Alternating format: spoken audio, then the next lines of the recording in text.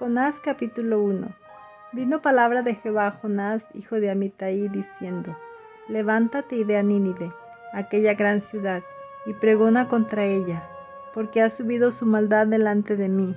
Y Jonás se levantó para huir de la presencia de Jehová a Tarsis, y descendió a Job, y halló una nave que partía para Tarsis, y pagando su pasaje entró en ella para irse con ellos a Tarsis, lejos de la presencia de Jehová. Pero Jehová hizo levantar un gran viento en el mar, y hubo en el mar una tempestad tan grande que se pensó que se partiría la nave. Y los marineros tuvieron miedo, y cada uno clamaba a su Dios. Y echaron al mar los enseres que había en la nave, para descargarla de ellos. Pero Jonás había bajado al interior de la nave, y se había echado a dormir. Y el patrón de la nave se le acercó y le dijo, ¿Qué tienes, dormilón? Levántate y clama a tu Dios, quizá Él tendrá compasión de nosotros y no pereceremos. Y dijeron cada uno a su compañero, venid y echemos suertes, para que sepamos por causa de quién nos ha venido este mal.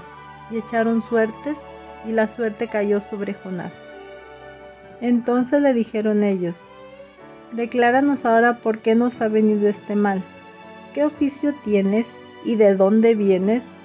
¿Cuál es tu tierra y de qué pueblo eres? Y él les respondió, soy hebreo y temo a Jehová, Dios de los cielos, que hizo el mar y la tierra. Y aquellos hombres temieron sobremanera y le dijeron, ¿por qué has hecho esto? Porque ellos sabían que huía de la presencia de Jehová, pues él se lo había declarado. Y le dijeron, ¿qué haremos contigo para que el mar se nos aquiete? Porque el mar se iba embraveciendo más y más. Él les respondió, Tomadme y echadme al mar, y el mar se os aquietará, porque yo sé que por mi causa ha venido esta gran tempestad sobre vosotros. Y aquellos hombres trabajaron para hacer volver la nave a tierra, mas no pudieron, porque el mar se iba embraveciendo más y más contra ellos. Entonces clamaron a Jehová y dijeron, Te rogamos ahora, Jehová, que no perezcamos nosotros por la vida de este hombre, ni ponga sobre nosotros la sangre inocente, porque tú, Jehová, has hecho como has querido. Y tomaron a Jonás y lo echaron al mar, y el mar se aquietó de su furor.